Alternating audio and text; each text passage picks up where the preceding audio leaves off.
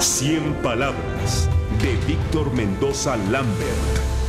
Para la gran mayoría de los mexicanos, escuchar que calificadoras como Fish Rating y Moody's le bajan puntos a México no es razón para alarmarse. Pero si te dicen que nuestro país tiene alto riesgo en su economía por las pésimas finanzas de Pemex, o que las tensiones comerciales con los Estados Unidos nos ponen en peligro de inflación, de poco crecimiento, de desempleo, y tampoco le haces caso, pues entonces sí es de preocuparse. Y esto lo digo porque la respuesta del presidente López Obrador a todo esto fue, y lo digo textual, los pronósticos de las calificadoras no tendrán éxito y la razón radica en su metodología que es obsoleta y que no pusieron la variable que hoy día no hay corrupción. Así dijo.